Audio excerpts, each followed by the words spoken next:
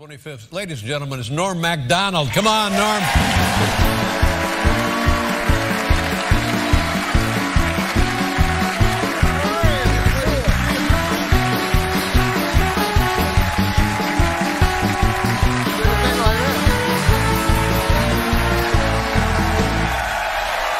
So nice to have you here, Norm. That was a. How you doing, buddy? I'm doing well, sir. Place goes crazy.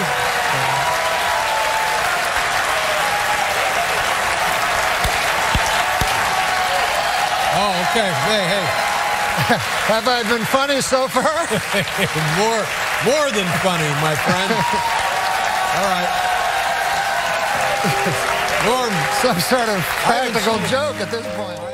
We have breaking entertainment news. Variety has confirmed actor, comedian, and former SNL star Norm MacDonald has died. MacDonald died after a private nine year battle with cancer. The Canadian comedian got his start as a writer on Roseanne in 1992. He joined the cast of Saturday Night Live in 1993. Norm MacDonald was 61. I'm sick of these kind of characters. I think we should kill Hitler. Me and you go suicide, kill him. Got it. It was like he died 50 years ago. Did he? I didn't Yeah. even know he was sick. But I did want to bring up um, Norm MacDonald first, if you don't mind, and your thoughts on on somebody who I'm sure you've known for quite some time. Well, I, yeah, I didn't know he was sick at all. It's sad. We lost Norm MacDonald this week, um, which was just, you know, I had no idea that he was even sick. Um, I'll, I'll close with talking about Norm. Norm, great guy. Uh, I won't overdo it about him, but we had a really fun thing, me and him, and uh, absolutely stunned, had no idea that Norm had not only been very ill, but been very ill for a very long time. None of us had uh, any idea. drank myself to death. Yeah. You would drink drink yourself to death? Probably. Yeah. You've been thinking about your mortality a lot lately, or Well, yeah, I mean, you turn 70 and uh, it's uh, you can't run from it. ah, fuck! I was hoping you could.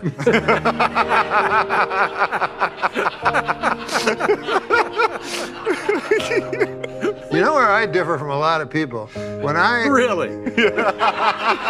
really? You're different from a lot of people. when I have my uh, funeral, you know, Yeah. and you know most of these funerals, uh, crying and uh, sad and everything like that, and. Uh, uh, that's what I like, you know. I don't want. I've heard of other ones. Let's have a party. Ah, ah. Whoa, whoa. No party. There'll be a lot of party days later. But right now, this is. I'm dead. I mean, you know, people should be talking, crying. I have to say, when I die, I really hope my friends do that with me. I'll be so disappointed if they don't. You know what I want my friends to do when I die? What? I want them just to get around and uh, try to bring me back to life. I, I never uh, talked about me, really. You know, I talked about universal me.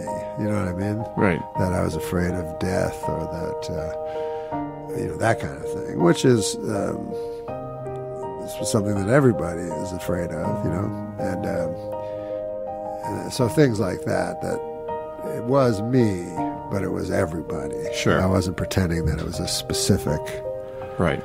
um, ailment that I had. And if I had a specific ailment, then possibly I do. You don't know. I don't. I don't know. Uh, but I would not talk about it. I would not. Uh, I hope that I would not discuss it and and uh, just uh, try to try to uh, benefit monetarily from the from that. Uh, my mother is a uh, breast cancer survivor. My aunt is a breast cancer survivor. My grandmother is a breast cancer survivor, and they were all diagnosed between 20 and 30 years ago. And just had a magnificent Thanksgiving with them uh, last week. So uh, hang in there, and uh, this too shall pass. God bless.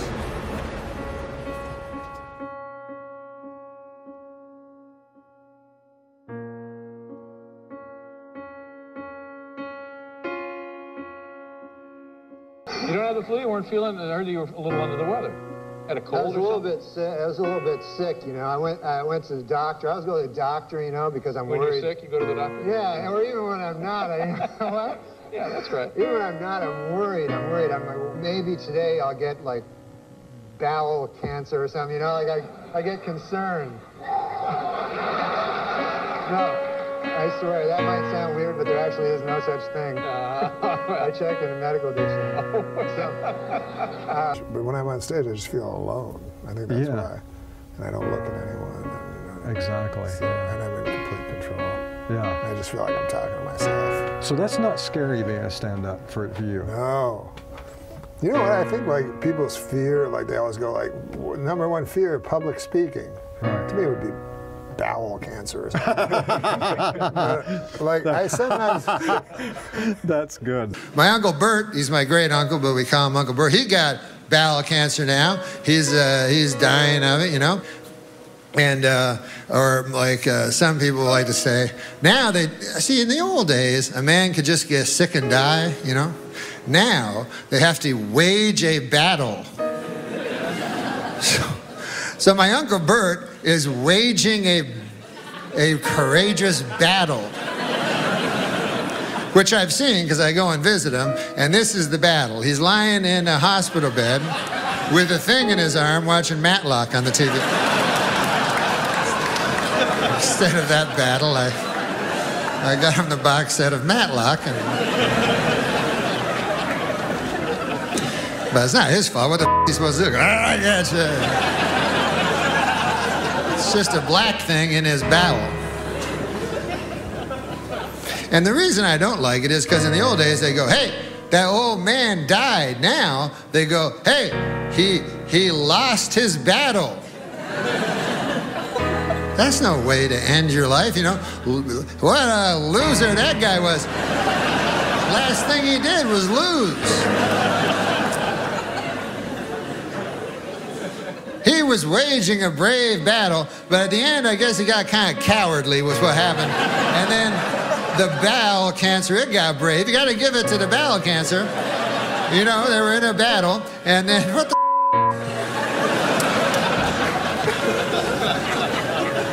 And I'm pretty sure, I'm not a doctor, but I'm pretty sure if the cancer dies, I mean, if you die, the cancer also dies at exactly the same time. So that to me is not a loss, that's a draw. That's a, you know what I mean? It's not like the cancer's gonna jump up and go, ah, Uncle Bert's wife. Where is he? I won fair and square. This where he works? Hi, name's Cancer. How are you? Where do I? You just throw me to my cubicle. Bowel. First name is Bowel.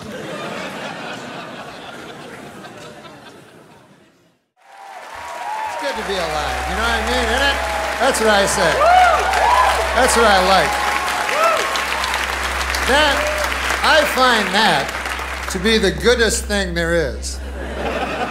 to be alive. And uh, the reason it's so good is because it's so bad to be dead. It's not like life's so fucking great, but compared to being smothered in earth. So I just every day I'm happy. That's my goal in life is not to die. Everybody need a goal. And so that's my New Year's resolution every year. I go, I'm not going to die. I think actually scientists should kind of look into that whole death thing because uh, they seem to focus on diseases. And, uh, you know, I don't give a fuck about them because, you know, the guy go, hey, you got, uh, we fixed your uh, arthritis. And they go, I'm still going to die? They go, yeah.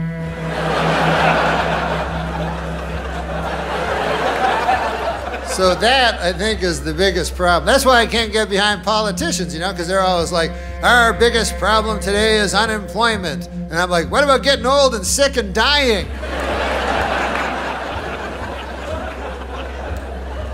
And they usher me out the back way, you know, but seriously, if there was a politician ever that said, by my second term, there will be no death, I go, I'm voting for that fucker. I'd, put, I'd just give that guy all my money and I'd sit on a chair. Sometimes I actually think I won't die. You ever think that? You go, fuck it, I'm not dying. But in your mind, when you know you analyze, you realize, you know, like, like I'm, you know, my dad died, and my grandfather died, and my great grandfather died, you know, and the guy before him, I don't know, probably died. I think he died. Because otherwise he'd be on uh, extra. No, I, I come from a long line of death. That's my point. That's my point. And so I fear it, you know, I fear it a lot. And I think most of us do, you know. But it's funny, like how, like what we fear, how we're gonna die. It's always the ways we don't die. You know what I mean? Like we go, God damn, I hope a polar bear doesn't eat me, or some crazy shit, you know. Or I hope an airplane. You know, I got an airplane today. You know, every time you get on an airplane, you go, hope I don't die. But you never die on an airplane. Ridiculous. Um, I found out, and then um, then it was in the press, and then the floodgates opened, and I didn't, I couldn't even go online. I can't look at clips of him, although I have right before I recorded this. Wanted to see a couple things. Um, you, everybody's sharing stuff, and you know, uh, he was a comedic genius. Anybody that didn't get it, uh, I'm sorry for you that you didn't get it. Um, he was one of the uh, well, he's one of the most important people in my life and one of the sweetest. And um, we loved each other. So I met him. He was 17 years old, and I was 21 or 22. It was 1978, I think, or 79. One of those two, probably 78. And I was working in Ottawa at a club called, I don't know, uh, Snickerdoodle or something. I, I, I don't even remember. It was a Giggles. I don't know. But Norm was in the audience. Uh, am I wrong, or am I the first comedian that you ever saw live? Yes, you were. Yeah, yeah. It was before there was a stand-up club in my city. and There was a place called, uh, gosh, why can't? I, yeah, Hiccups. Yeah, in Ottawa. Hiccups. And I was 15, and me and my buddies went there. And then you made fun of me. You played the guitar a lot, and I had weird hair, and you said, uh, you know, take the ribbon from your hair, and you kept coming back to me. And then I afterwards, like an idiot, went up to you at the bar, like people do, like as if they're part of the act. I'm like, hey, should we talk? And you were just trying to get ladies, you know. Well, I, mean, I think it's the way you said, shall we talk? I Oh. think it's almost like saying, get in the car.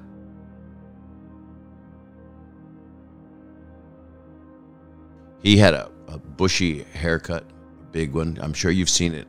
Some people, uh, I, I really loved seeing some pictures uh, that people posted of him at that age that I saw. Because it was this sweet guy who had a brain and bandwidth that most people aren't born with, who was also, like most comedians, an outsider. Uh, and we talked. We talked um, at the bar, and I remembered it specifically a few years later when I met him for real in clubs in Canada. I think it was at Yuk Yuk's. I'm not sure. This doesn't matter, right?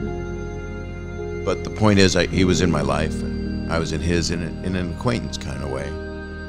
And then um, a bunch of years passed, and we would see each other on the comedy scene, and we became friends.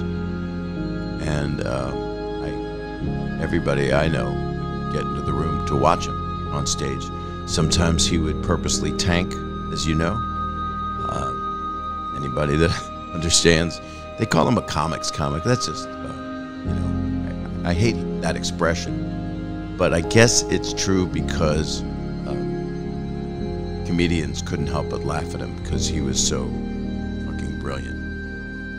And he would say things that might not be able to be said by anybody. I mean, they wouldn't be able to be said by anyone else. We're talking about an original voice, and his influences were all the usual suspects, all the people that you know that love comedy can see who his roots were.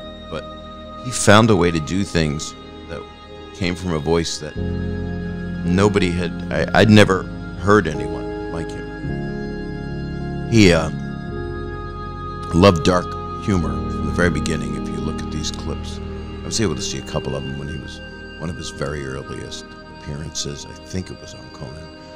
He's just this young, thin lad, um, and talking about death, dark stuff, murder, and those are themes because Norm needed to feel things very, very deeply, and Norm did feel things very, very deeply. So when on that amazing Letterman appearance two weeks before David went off the air, and Norm was the last stand-up comedian to go on there. Um, and I only know this, I, I know all about it because we had talked about it. But watching, listening to the Howard Stern interview from 2016 is a valuable piece. Um, just to see uh, his love for David, he didn't know what he was going to say. Um, and the people that he really loved, um, he would tell them. So if you're one of those lucky people, because he he'd gone through a lot. Norm uh, was very complicated, right?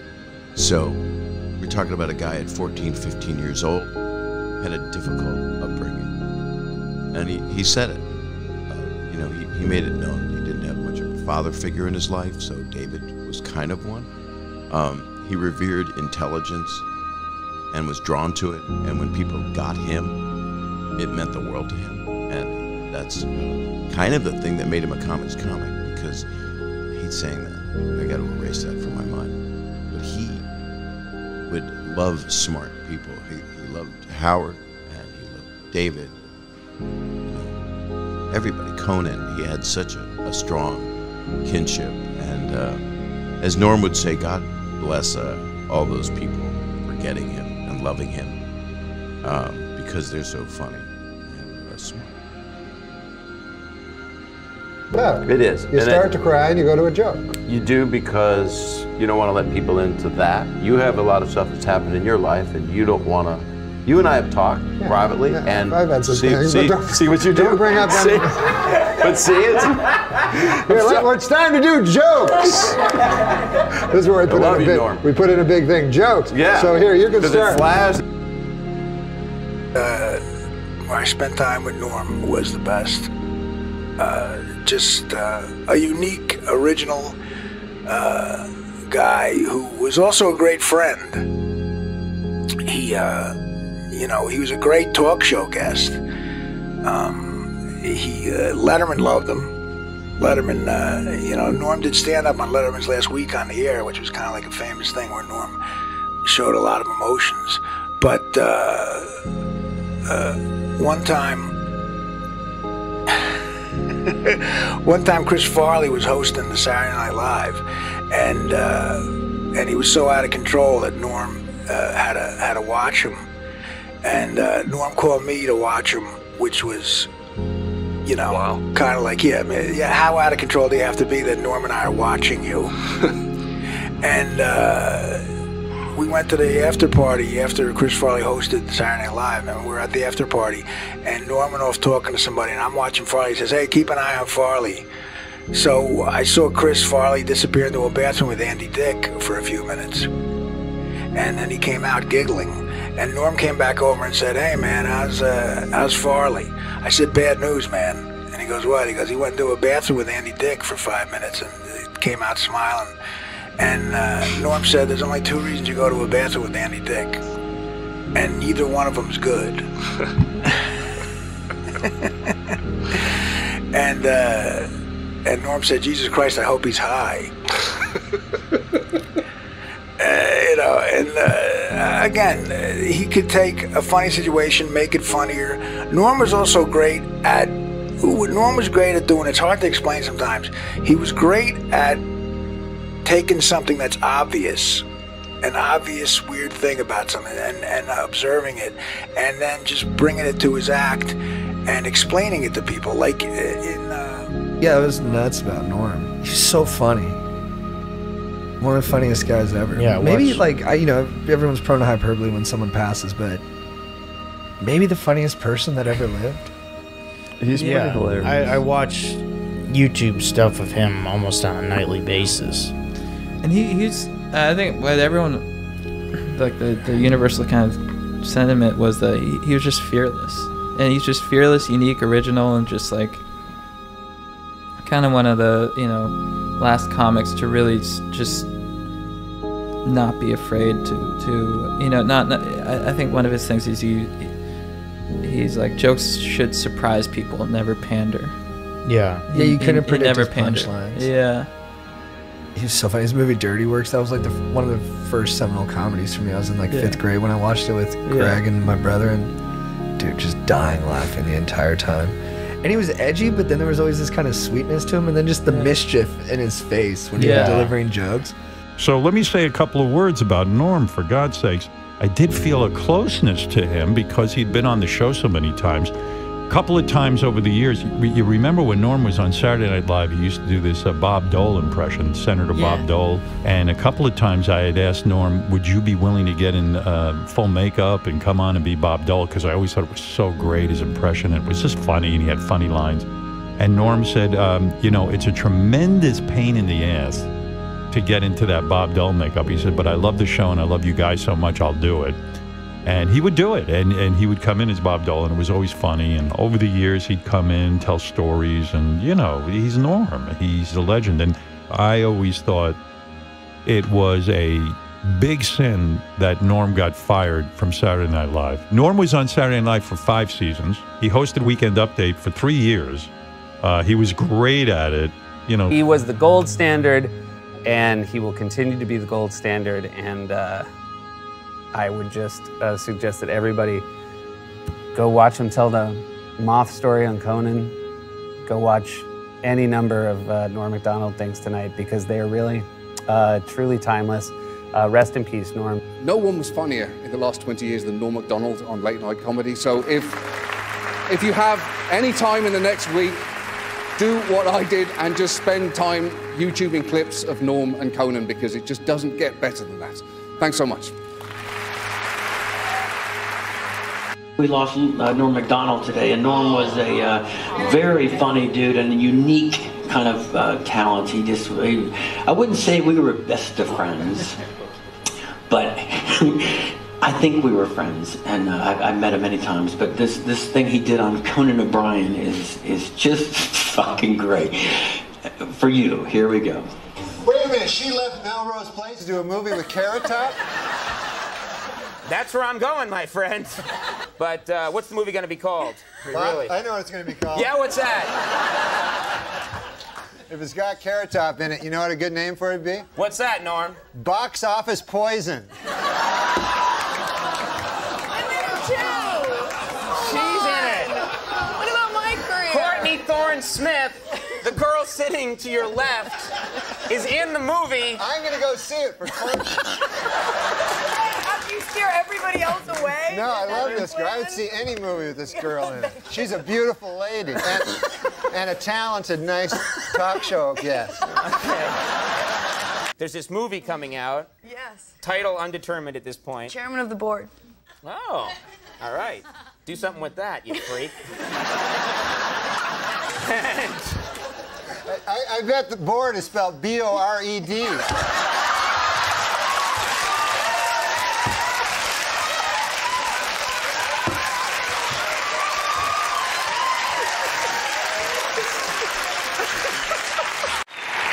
Now, not all your material comes uh, from the, from the news. Is that right? You know. No, you- some of my material comes, my strongest material comes from real life. Real life? Like, for instance, today I was driving in a, a car. Mm-hmm. You were kind enough to bring a car to bring this old chunk of coal here to the studio. we send we send cars for our guests. Yes. Yeah, so I got in it, and that's, I, you know, I get material that way. So my What do driver, you mean? What, what, how do you get material that way? You get in the car, and what happens? Uh, my driver tells me a joke. The driver we sent to pick you up told you a joke. Yeah. And you're going to tell it now on the show. Yeah, that's how I get a lot of my material. okay. Why don't we just have him on next time? Ah, that guy. You, now that guy. No, wait till you hear me do it. so the guy, he goes. Uh, he- uh, I say, uh, I'll be the guy. Okay. Uh, a moth. a moth goes into a podiatrist's office. A moth goes into a podiatrist's office. All right. You are correct. A moth goes into a podiatrist's office, and uh, the podiatrist's office says, What's the problem? And the moth says, What's the problem? where do I begin, man? He goes, I go to work for uh, Gregory Olinovich, and uh, all day long I work. Honestly, Doc, I don't even know what I'm doing anymore. I don't even know if Gregory Olinovich knows.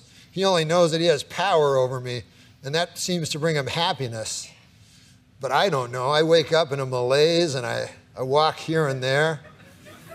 And the podiatrist says, Oh, yeah? And the moth goes, Yes. And he goes, uh, At night, I, I sometimes wake up and I turn to some old lady in my bed that's on my arm. A lady that I once loved, Doc. I don't know where to turn to. My youngest, Alexandria. She fell in the, in, the, in the cold of last year. The cold took her down, as it did many of us. and my other boy. and this is the hardest pill to swallow, Doc.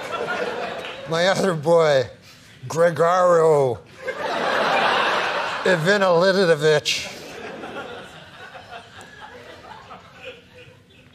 I no longer love him.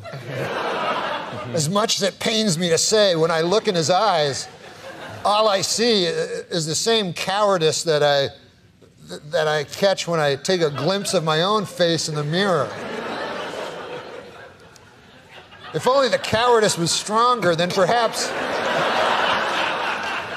Perhaps I could bring myself to reach over to that cocked and loaded gun that lays on the bedside behind me and end this hellish facade once How long a all. drive was this?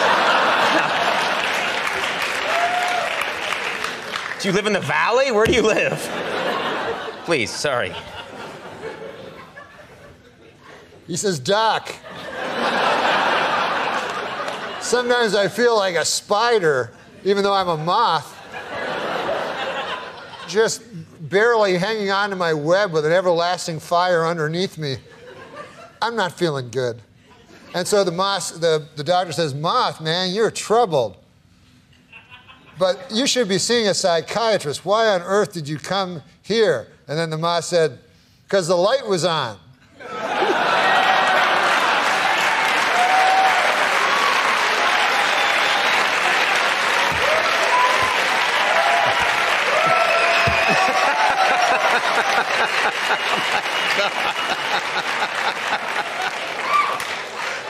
My congratulations to anyone who stuck it through to the end.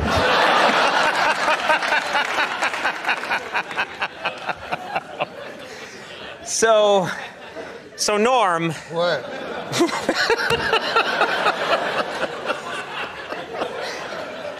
We're pretty much out of time. I.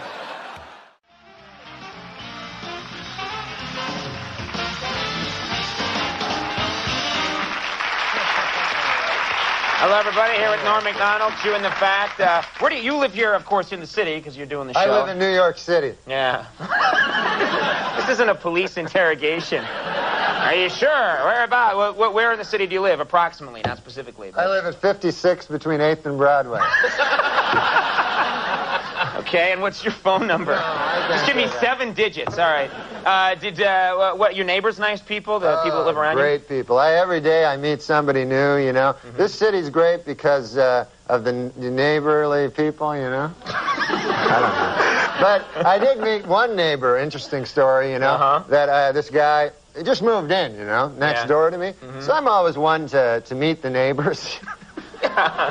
You're, you like to chat with the neighbors, yeah? Yeah, because you know, so uh, I uh, I went over to the guy, I knocked on the door next door to where I live, Mm-hmm. and I say to the guy, I said, "Hey, I'm your new neighbor, you know," and I said, uh, "Good to see you, you know, nice to nice to run into you, you know, uh, welcome to the the neighborhood, you know." Mm-hmm. And so the guy, I said, "What do you do for a living there, sir? You know, if you don't mind me asking." you know, what do you do for a living? I'm a, I'm a uh, nightclub comic. I tell the guy. So he says to me, he says, I'm a, I work down at the University of uh, Science there. He says, I'm a, uh, I'm a, um, That's a good. That's a good school, by the way. I can't remember the exact place. Sure. But uh, he says, I, uh, I'm a professor of logic. So he says, the guy says, logic. Now, what the hell is that? I never heard tell of that. He says, oh, well, he says it's a, a kind of a pattern of, uh, uh, syllogistic. Uh, well, he says it's hard to explain. He says, uh, uh, why don't I give you an example? So I said, fair enough. Why don't you do that? So the guy says, well, he says, uh, let me ask you a question. He says, do you own a doghouse? So I go, yes, I do. He says, well, then that means you probably have a dog. I said, yes. He says, uh, well, that means you're likely you have a family if you have a dog. I said, yes, I do. He said, uh, well, then that means uh, you got uh, kids, you're married. I said, yes, yes, I am. He says, uh, well, then you're a heterosexual man. I said, yes, sir, I am. He says, well, you see, that's logic there. I, I asked if simply from finding out you had a doghouse, I made this series of inferences, and uh, I, I found that you're a heterosexual man simply from the fact that you had a doghouse. Well, I said, good God, isn't that something? Okay. Uh, so I said, well, I won't waste any more of your time there, uh, neighbor. And I said, I'll see you, see you later. See you around. Okay. So uh, I, went, I said, come on, come by one day and have a, a chicken with me. So anyways, I left.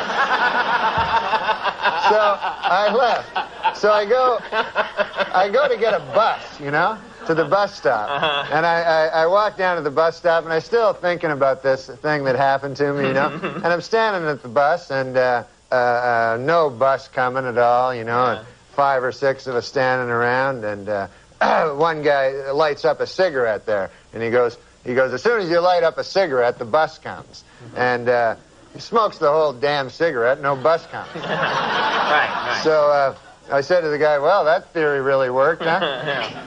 And the guy goes, well, sometimes it works. Anyways, the guy goes, uh, what's new with you? I go, well, I uh, had an interesting thing happen to me today. I said, I met my neighbor. Mm-hmm. And he goes, oh, yeah? I go, he had a hell of an interesting job. I said, he's a professor of logic down at the University of Science. And uh, so the guy says, is that so? He says, uh, professor of logic. He goes, what the hell is that, logic? I said, well, it's a series of Scylla something or other. Right, right. I said, I can't remember exactly, but I said, uh, I'll give you an example if you want to hear an example. Yeah. So the guy goes, all right, fair enough. So I said, uh, let me ask you this. I said, uh, uh, uh, do you- do you, let me ask you a question. Do you own a doghouse? And the guy goes, uh, no, I don't own a doghouse. so uh, I says, the guy says, oh, yeah, you're one of them gays.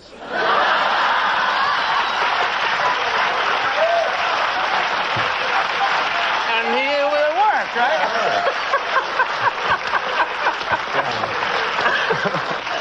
what great stuff you can learn at Yeah, that nice. University of Science there.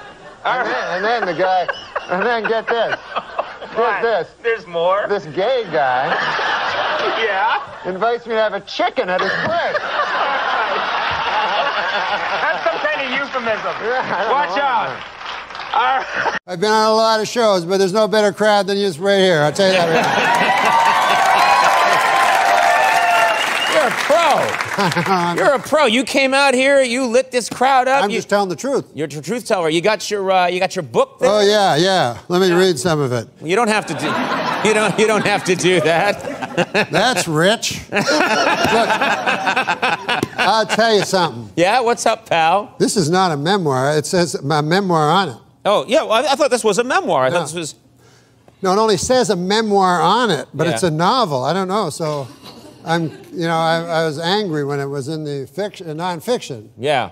because it's a, a memoir. It says a memoir. It doesn't mean anything. Right. It's like if you, you know, bought grapes of wrath. You're like, hey, there's no grapes. Yeah. Or you put it in the grape section. That's Yeah. smart. Yeah. Then everybody will find grapes of wrath. Yeah. People that like grapes. Okay. Listen, Norm, settle What? down. This Have I made my point? You made your point. Uh, I, I, if this was a memoir, if this were a memoir, yeah. I would put juicy things from my own life. Right. Right. Like, what kind of things would you put in there that nobody knows? Well, I guess the biggest thing that nobody knows about me is I'm a deeply closeted gay man. What? I mean, that's. I mean, that's. You're a gay man. I'm not gay. I said I'm deeply closeted. What? I'm Wait. as straight as an arrow. So you're a gay man who won't admit it. No, no. Do you know what deeply closeted means? Yeah. It means a man who will not acknowledge that he's gay. Yes. So I'm telling you, I'm not gay. I got a wife. I just You got a wife, I just got married because I thought uh, go through that charade, uh, keep appearances up. Oh yeah. That's the kind of thing you tell Yeah. if this were a memoir. Yeah, if this were a memoir, Right. If this were a memoir, I would tell about my wife. What a battle axe. A battle axe? I mean, I- no one's called their wife a battle axe since 1945. Listen, come. How do you feel about a woman? She's supposed to be my life partner. I look in the mirror the other day and I says to her, I says, honey, I look in the mirror and all I see is a fat, ugly old man. And I need you to give me a compliment. She says, all right then. Uh, your eyesight is damn near perfect. I said, you dirty dog.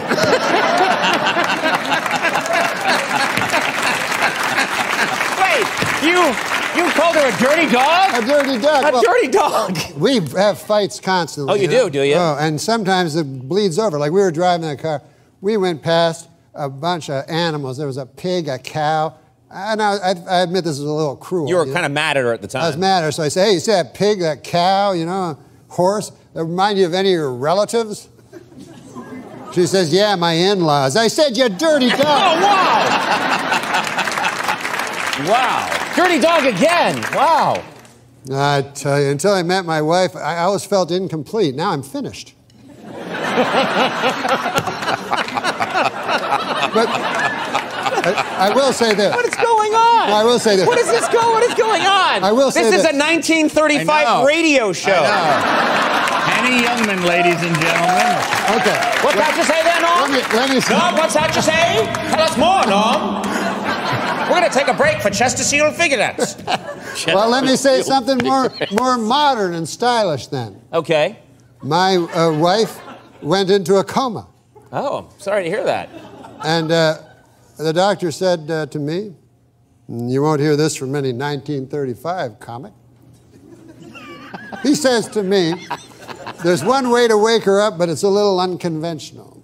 You go in there and you have oral sex with her. I said, By God. He says, I've seen it work. I said, Well, I'm willing to try. So I go in there, I'm in there about five minutes, and I come out. I said, Doc, she's choking.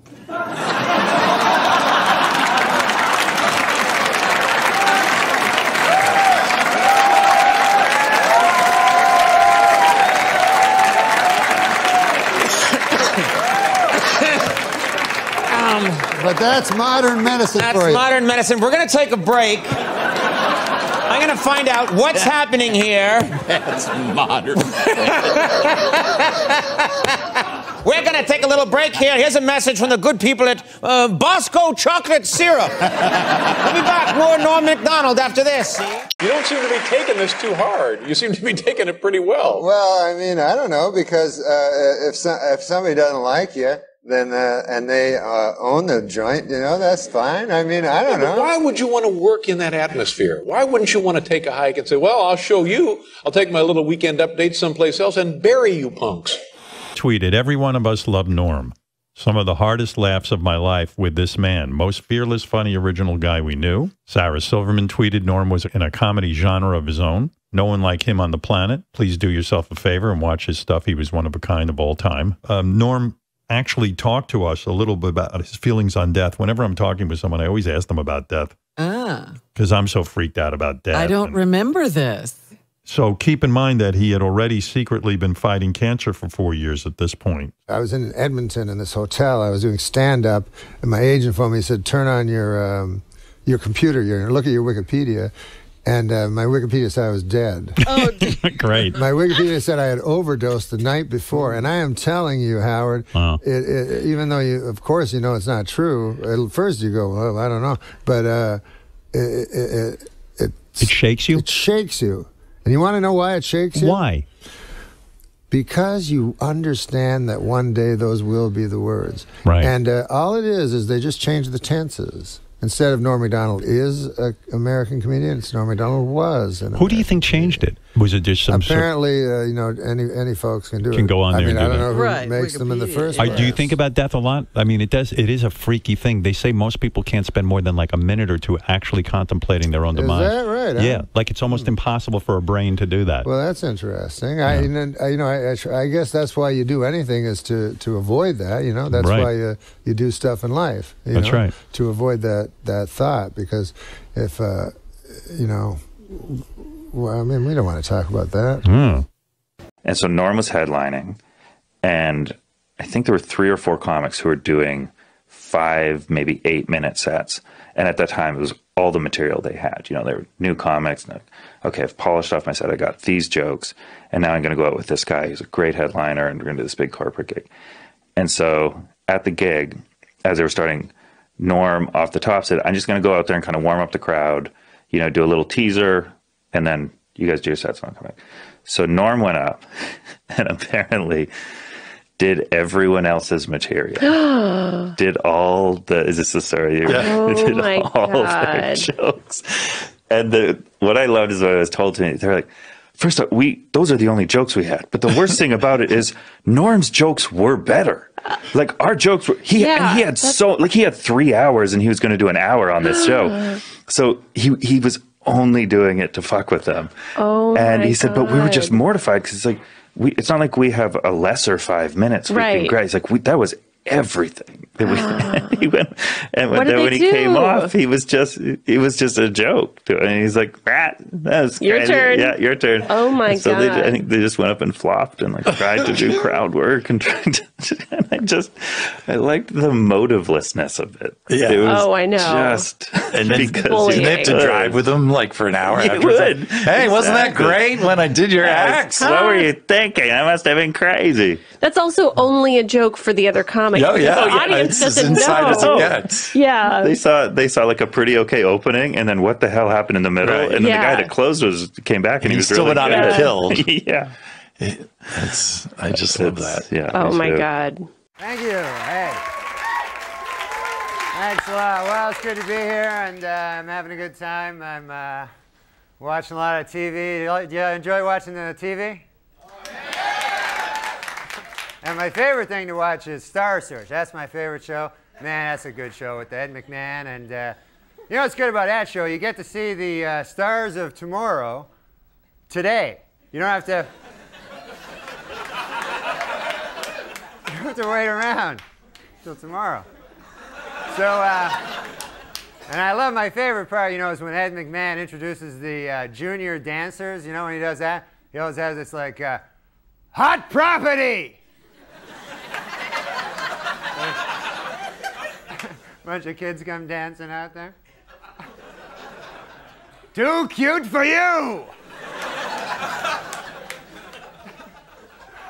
and uh, I also like that because they got junior dancers on it too. And you never see junior dancers anywhere else in show business, you know? It's only on that show. You never, where the hell is, you know? I mean, you never hanging around go, hey, honey, what do you want to do tonight? Maybe go down to the bar there or catch a movie or something there? Or, uh, hey, I know, I, I heard about this new joint down on uh, 6th Street. They got, uh, they got the uh, five-year-olds dancing. Maybe we could, uh, I understand Hot Property's going to be there tonight. We can see them. I never seen them live. I hear they're better live than, than on the TV. They're even better. And that's also a big mistake they make on Star Search. They always name their groups like Hot Property and stuff like that, as if that's going to help them win. You know what kind of like the bands? It's always like some embarrassing intro. You know, always like Ed be going, "Our next group has been kicking around the Miami area for the last 16 years. now America, say hello to overnight success." There they are. There they are. It looks lame if you lose with a name like that, you know? You don't look good. So I was like, now it's time for the judge's decision. You ever see the judges on Star Search too? Of lame judges are they?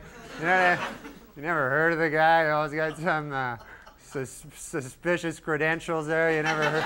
You know. So I was like, now it's time to meet our judges. He is the president of Tri Media Artists. He's- and he represents such stars as Meadowlark Lemon. There he is. He's a bald guy with glasses. then they cut to a bald guy with glasses. Guys are waving. But uh, no, so you know, you want the good names. You know, you don't want the the bad. Always the guys with the bad names get the winning. You know, the guys with the big goodness. I was like, now it's time for another tough decision for our judges. You know, so that. another tough decision for our judges. Our challenges. Overnight success receive one and a quarter stars. but. Uh, and then I like when uh, Ed like brings them over. That's my favorite part. Like when the guy that wins, you know, on over here, overnight success. Let's pretend they win, you know. and then they run over, you know, and, and then sometimes Ed has some good news for him. That's my favorite part. He'll go, overnight success. Well, it's good to see you there. And how would you like if I told you you're in the semifinals? it's all exciting.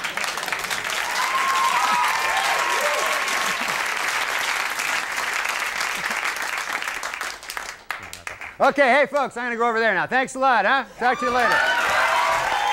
Norm Macdonald's here. We were uh, really, uh, we were enjoying your bit, especially over here, your stand-up, because Andy was a judge on Star Search. yeah? Yes, I was. Andy's the Andy's the president of TriStar Entertainment. Yeah. Yes, that's right. That's the caliber of guy I'm talking about. Love each other. Oh. That's what we need more of on TV. What the hell am I doing? okay. How are you? How are you doing Good, on man, Update? Great. You're doing It's a great fun, job. Yeah, thanks a lot. Well, I try to, you know, make it funny and stuff, and uh, And that's your secret. yeah. You know what you got to do? You got to keep in track of the competition. That's what I find. You know, see what they're doing and try Uh-huh. to make it funnier than them. So, like, I brought uh, some jokes I do, and then some jokes that, you know, you might hear from the competition. You know. Okay. So here's the Al Cowlings. You know this guy. Yeah. So my joke was Al Cowlings now has a 1-900 number. For $2.99 a minute, Cowlings will tell callers that OJ is innocent. For $3.99 a minute, he'll try to do it without laughing. Yeah. I like that joke. Yeah, well, they don't. now, compare this with uh, this was uh, Tom Brokaw's joke. You know, your earlier guest. Yeah, yeah. This was his joke the same night. A.C. Cowlings, the man who drove O.J. Simpson's Bronco as police followed, today came out with his own 1-900 number. NBC's David Bloom has more. Not even funny, you know? It's like, it's like the lamest, Yeah, no, it's lamest lame. joke I've ever heard in my life. now, here's another one here. Twin daughters have been born to Andrew and Carrie Kennedy Cuomo. This one from two weeks ago. Mm-hmm. Making former New York Governor Mario Cuomo a grandfather. Mm. The girls were named Pataki and Sucks. so that was my joke. That's your joke. Yeah, That's a good joke. Here we go. Now here's Brokaw, Okay. the guy that they're paying all these millions to. He says Mario Cuomo is a grandfather today. NBC's Jim Bitterman has more. It's like It's like almost exactly the same joke as his other one. He changed the guy's name. All right. what's he doing? What? Thank you. yeah. you hold on to those, Andy. Those will come in very handy. I figured it out because I saw his show. You know what the problem is? He's got guys in the background typing. They're typing stories, Uh-huh. and he's already doing the news. It's like too late, you know? What the hell's he thinking? Uh-huh. Let him start a half hour earlier and get off a half hour earlier, you'd have a better, I don't know. All right. Well, how are you? I, I see you're in uh, you're in Billy. Uh, what is it? Billy Madison. Oh, I yeah, caught yeah, Adam's yeah, movie yeah. the other day. Yeah, How that was, was- that? You're a movie star now. Yeah, no. Um, I'm just in that movie with Adam. Well, what's And, it like uh, working on a film? Yeah. It was great. It was great to uh, uh, work with Adam. You know, I uh, I never met him. That was the odd part. In the whole movie, you'd think I'd have a chance to meet the guy. Uh huh. Never, never came up. You don't see him around Saturday Night Live at all? No, I never see him. He's not. we never crossed paths. You know. Uh-huh. One of those things. People think these guys, these audience people, they think everybody in show business knows everybody. That's right. They're idiots. oh, not, not He didn't mean anyone no, here no, no, no, no, no. or anyone watching at home. No, no, no. You didn't mean anything like that. No, no, no. You guys aren't idiots. You know that. You don't have to have me tell you you're not idiots, for God's sake. I know most of you are saying, hey, any idiot could do that. Well, it was tough for me, so back off! Sorry. Sorry about that. Yahoo, Billy! Billy's number one! Yahoo! That's nice, buddy. Your favorite Adam Sandler film? Billy Madison. Film. Film. Oh, film. film. Yeah, Billy. Billy Madison. Billy was my Madison. How did you know that he was going to say that? Well, I know another guy was in it. Old Mark Beltzman.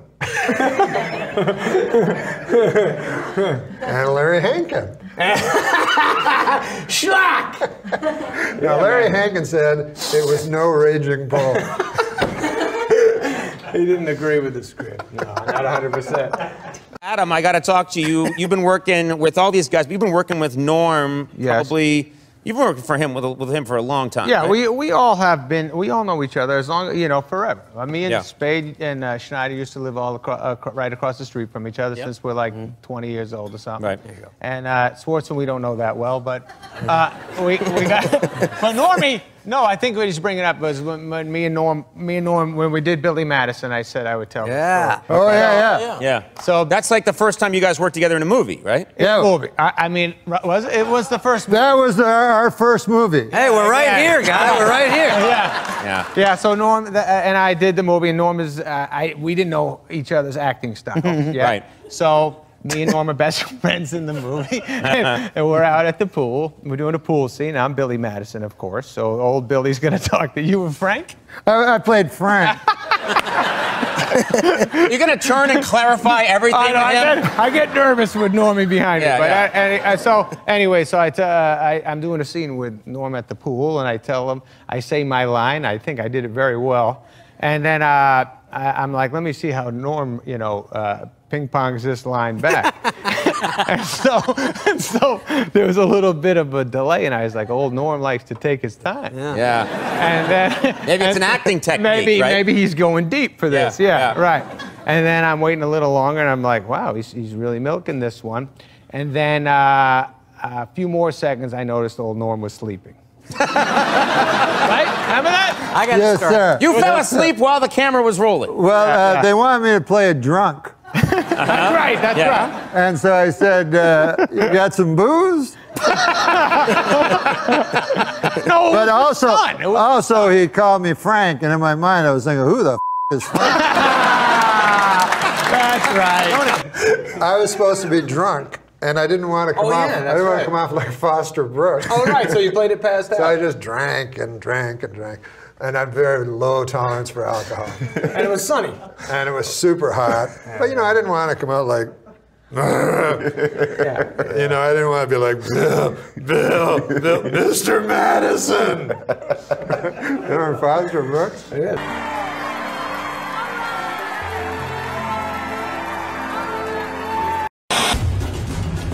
The suspect is not human.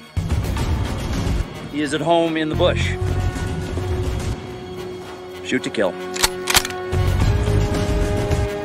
Any questions? Oh, yeah, yeah, I got a question there. Uh, when do we get to light our torches? When it gets dark. Ah, I see. Oh, hey, I got another question there. Suppose, uh, hypothetically, you know, a guy had uh, already lit his torch. I mean, uh, uh, it'd be cool if he if he could just keep it lit, huh? Yes. Ah, excellent, excellent. Now, if there are no more questions. Hey, hey, hey, hey, I got another question.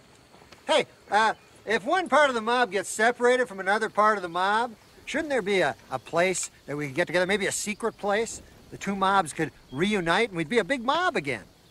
Stay with the mob. Stay with the mob. All right. Hey, I got another question. Hey, uh, doesn't this guy deserve a fair trial? You Back of the mob. Back of the mob? What? This is my spot. I came early. Okay, out of the mob. As this mob blows. Let's go. All right, all right. It's me. I was not expecting that, were you? I am the beast. I ate the cow, and I mauled the hunter. So do what you gotta do.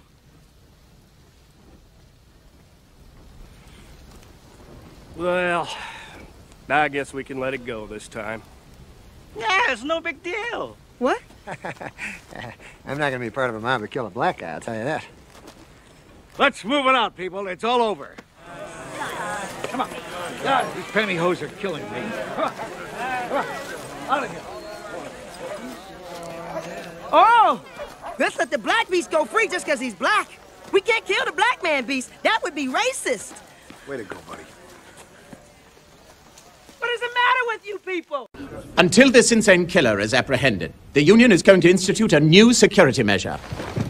This ring locks snugly over your vagina and then communicates directly with a global satellite system. There are rings of all sizes available, smaller for our Asian members. You all know me. My name is McManus. I joined this union some 20 odd years ago for two reasons.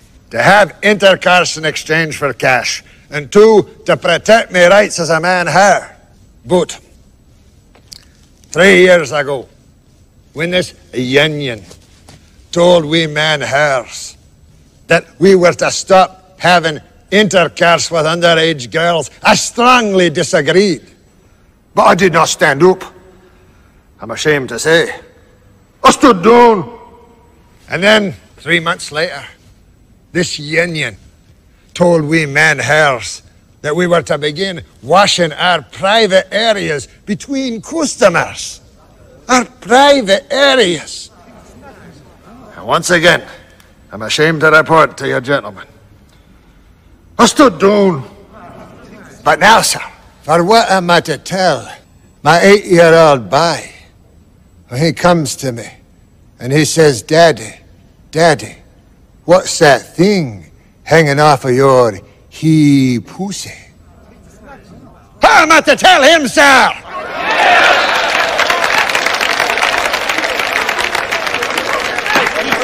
Congratulations, George. That's awesome, man. You got cured of AIDS. I didn't have Hey, let me get you a cocktail. Hey, not an AIDS cocktail, regular. No, I don't want to. Huh? I'm gonna get one of them ribbons. You're alive? Yeah, yeah, yeah. Unbelievable. This guy, this guy, man. You got the women, you got the fame, and you can't fucking die. Did you suck the devil's dick? What is it, man? I want to know the secret. You fun bucket? Yeah, that's me. You don't look like a fun bucket. I was picturing someone more fun or buckety. You're not the crazy hot masseuse, are you? I want you to tell me right up front, because if you are, I'm not paying for dinner. Come here. You mention Craigslist to her, or do anything that hurts her. I will stick my foot. Fun bucket? Manilow? I'm looking for one good sex scene to jack off to before I go to sleep, but it's nothing but cowboys talking to other cowboys. McCarthy's a prude. He's no Updike. I like those John Updike women, those middle aged tan gals. Oh, I love chess. Really? I didn't know that. Yeah, that's because it's a lie. Also, I love hanging out with you guys.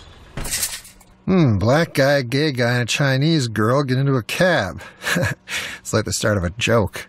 Black guy says he forgot his wallet. Gay guy says he didn't bring his wallet because he assumed the black guy was paying because he thought they were on a date. Chinese girl just keeps saying, me so horny. no. No, it needs a rabbi. That's what it needs. A rabbi. I think it's a pretty good joke right now. I'm reading this cartoon here, and uh, there's a big elephant, and it says the deficit on it, and it's sitting on a mouse. And the mouse says the uh, home crisis housing.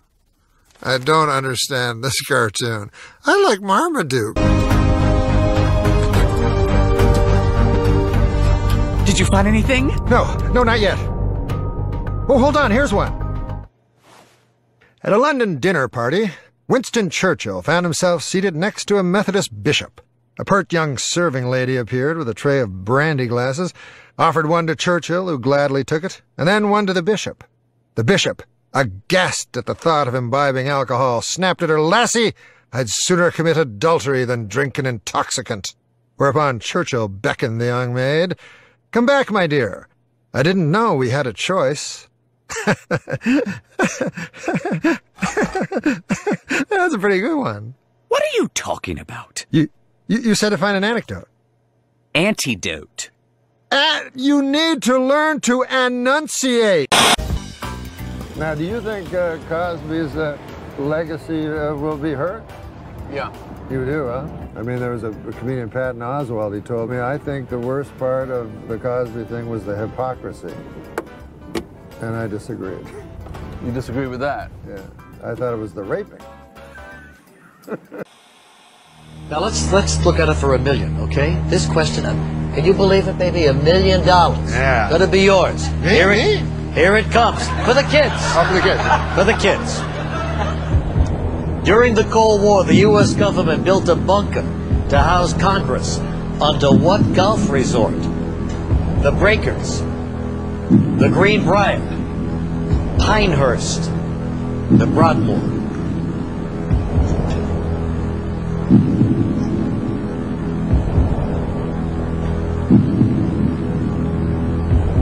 I mean, they always say don't go with the obvious one, right? That's what somebody told me backstage.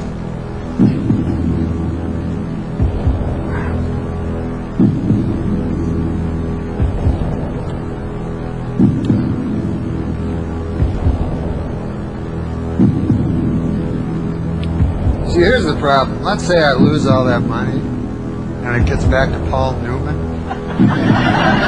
That's going to be a problem. I look like a You'd lose $468,000. I wouldn't lose it. The children. Of course, would the lose it. children would lose it. But you would lose it for the children.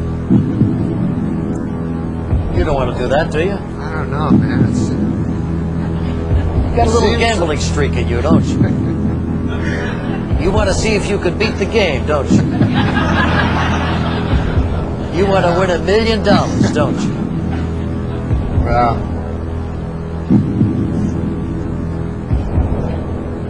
I'm gonna say pine. Uh, You're going to say what? I was thinking Pinehurst, but you say don't go with the obvious, so I'll say Greenbrier.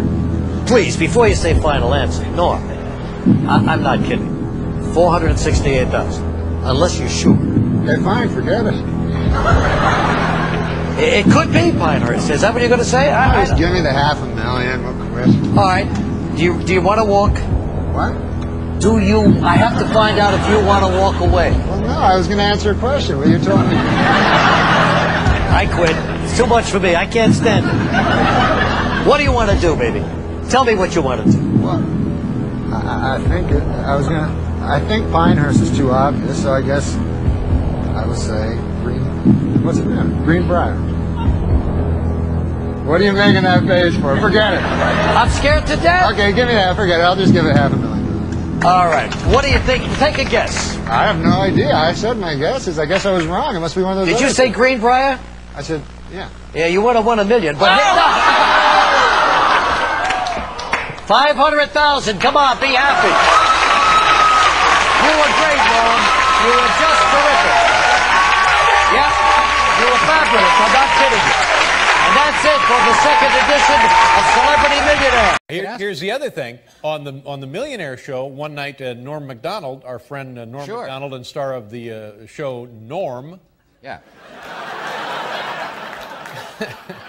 was on the was on the Millionaire Show, and Norm is you know he comes on and he just behaves like a nitwit. Well, it turns out he's some sort of like genius nitwit Yeah. because. He, he runs the damn board on the Millionaire Show, and they get right up to the, the million dollar question, and Norm says, I think A. And Regis says, Are you sure, Norm? And Norm says, Yeah, I'm sure. And, and Regis says, Well, it's a lot of money. Think it over. Take your time. You want to reconsider? And then Norm says, Oh, what are you driving at, Regis? Maybe I got the wrong answer. You're telling me I got the wrong answer? Right, right. So now uh, Regis makes Norm start to sweat. Right. He's, uh, about to go home with a million damn dollars.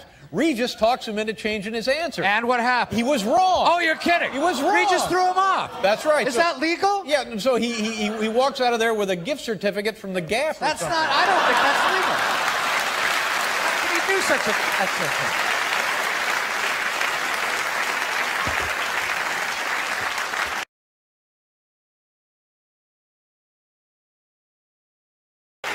Now, what about? I told this story about this uh, when uh, Norm uh, uh, Macdonald was on your show. Do you remember that? I remember it He's very up there well. at a million dollars, Regis. He can walk home with a million dollars. First of all, Norm says to me, you know, I'm playing for Paul Newman's Hole in the Wall Kids. That's great. Hole in the Wall gang. Yeah. Have you ever been up there to that camp? I hear it's fabulous. Oh, it's And it's a unbelievable. terrific thing that Oh, Paul they do a Newman has done. fantastic job. But you understand, he has won $500,000. Mm-hmm. Now, if he goes for the million and he misses, the Hole in the Wall gang get thirty thirty-two thousand dollars. right. Still a nice, a nice. A nice sum, but I want them to be sure to get the half million. That's right. So the question comes up where did uh, the U.S. Congress build a bunker during World War II under which famous golf course? Mm-hmm. And we mentioned four golf courses. And, uh, and Norm is vacillating between Piedmont and another one, and he can't make up his mind, and he's going back and forth. And I was saying to him, Norm, if you really don't know, you know, because he's saying, I'm playing for the kids. That's right. Don't you want me to win for the kids? Right. If I lose, you're to blame. you got to face those kids one day. Right. All of a sudden, I'm against the kids. Well, that's what it looks like. So I said to Norm, Norm, be smart. Be take careful. the 500. Be careful. Oh, oh, I But if see. you really don't know the answer, take the 500. 500. And that's exactly what he did. I see. Okay? Oh, oh, so he didn't go on and blow the question. You talked him out of going on. That's right. And, and he ended up with a half a million for the kid. But he, in his mind, you know how it worked out? He had the right answer. He had the right, so he could have gone on for a million. That's right. Well, see, now I stand corrected because I thought you had bullied him out of the million. Because, know- because uh, I know that a percentage of that comes out of your paycheck. You know, you guys are murder. First of all, I got him slandering me with Kelly Ripa, and then you're killing me with Norm. Yeah. I didn't know you were on Who Wants to Be a Millionaire. Oh yeah, I was on that show. You could have won a million. I Saw that. I won a half a million dollars, but I didn't get to keep it. I had to give it to a charity. Darn it.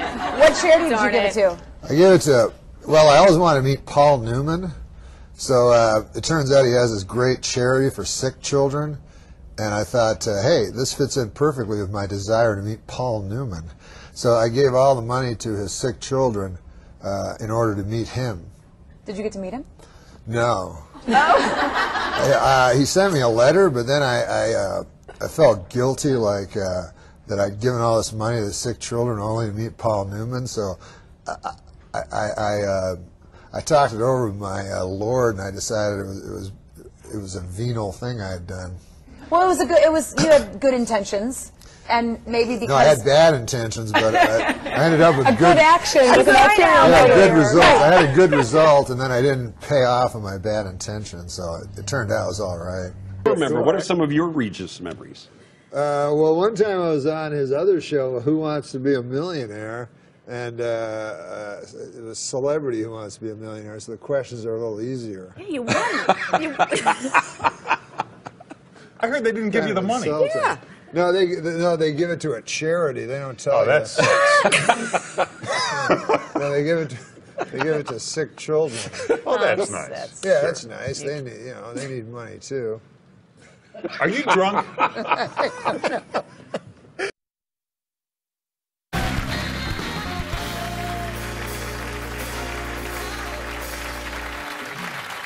gentlemen, this is uh, something exciting. Our, our next guest made his uh, stand up debut. I did not remember that. This man began his television stand up debut with us 25 years ago. Didn't know that. I didn't know that.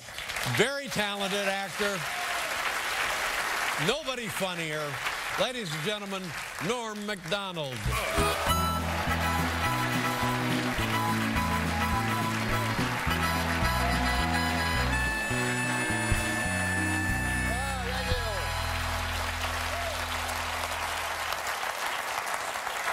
Thanks, guys. Listen, I don't want to brag or anything, but uh, me and Oprah are making the same money tonight. But uh, the show has loosened up considerably. I noticed I was watching Oprah and uh, Dave talking about weed and booze. And I've never, I don't do either of those. The hardest drug I ever did, LSD. and uh, I remember as a kid, I was like 16, and I remember they told, warned me, they said, hey, you got to be careful with that LSD on account of you can get a flashback. 10 years can go by, 20 years, 30 years, and a flashback will happen. So I thought, hey, that seems like a good deal. you know, you, you tell me I buy a drug for $5, I eat it, I get high, and then 20 years later I get high again?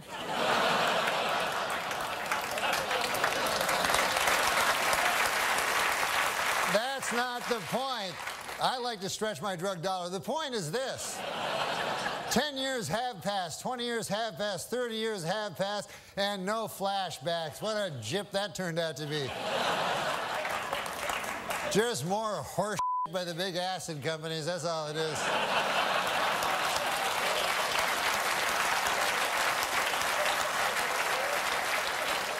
But I can't believe it's been a quarter century since I made my television debut. It was all different back then. You know, it was back then, I remember if you wanted to take a picture, you would use a camera, not a telephone. As a matter of fact, if you used a telephone, people would look at you odd. Give it a- Just stay still like that. what about in the old days when they took pictures of you way, way back, you know, where they pulled that thing and exploded and stuff? I got a picture of my great grandfather. The thing took six hours uh, take your picture, and uh, uh, a picture of my great grandfather, one. They only had, every guy had one picture back then. and it's just him like,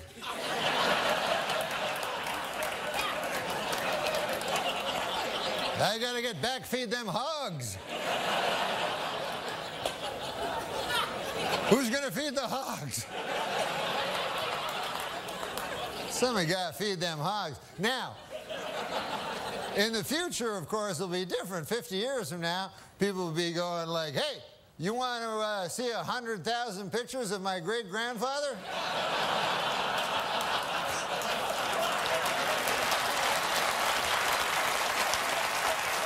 I got him right here, plus everything he did every day of his life. Hey, this occurred to me today. Uh, ID, ID, which I had to show it again. There's a strange abbreviation when you think about it. I is short for I. and then D is short for dentification.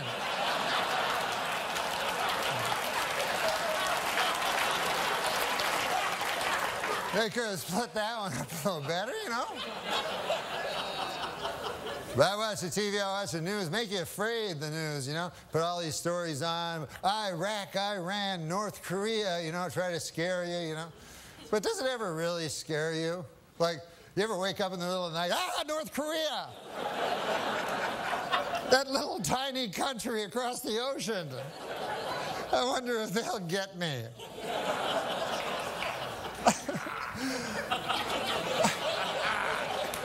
Plus, didn't M*A*S*H settle that like 20 years ago? Why'd I have to watch that stupid show? There is one country that worries me, though. Not Iraq, not Iran, not North Korea. The only country that really worries me is uh, the country of Germany. I don't know if you guys are history buffs or not, but. Uh,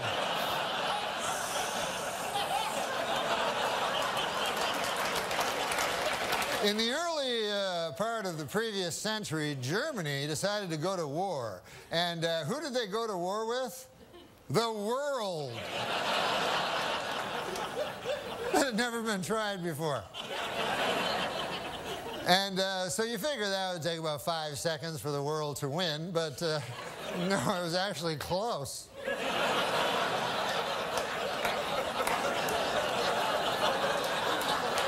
Then about, then about 30 years pass, and uh, Germany decides again to go to war, and again it chooses as its enemy the world. and this time they have that guy, Schrankly, Crankly, that guy, and I'm not even going to dignify him by saying his name, but I think you know I'm talking.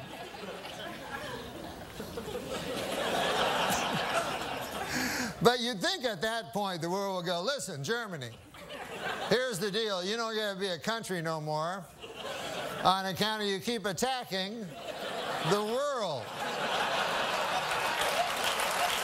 I mean, what, do you, what do you think? You're Mars or something? Anyways, listen, folks, this will be my last time on uh, the David Letterman show, I understand. and you know, you know, you guys, we all know that David Letterman was the greatest talk show who, uh, host who ever lived. But I.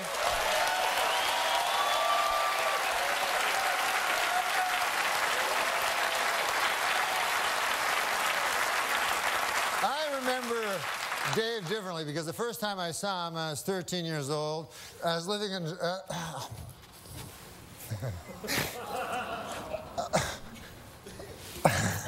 I was living in Toronto, Canada, and I went to a talk show they had there. And uh, David Letterman was the stand up comedian on the show. And uh, I loved stand up. And David Letterman did this joke that I told everybody this joke. I love this joke. It still uh, stays with me as my favorite stand up joke ever. So I'd like to do it for you if you'd like to hear it.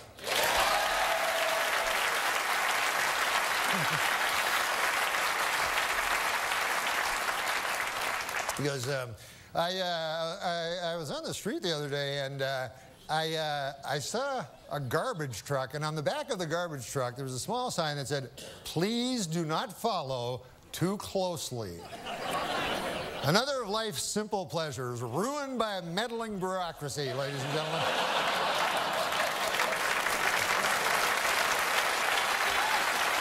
You remember the old days when, when Dad would pile the kids in the station wagon and we'd all go out and follow a garbage truck? So, anyways, I'd just like to say I know that uh, Mr. Letterman is uh, uh, uh, not for the mawkish, and uh, he has uh, he has no truck for the sentimental. But if something is true, it is not sentimental. And I say in truth, I love you. Oh my God!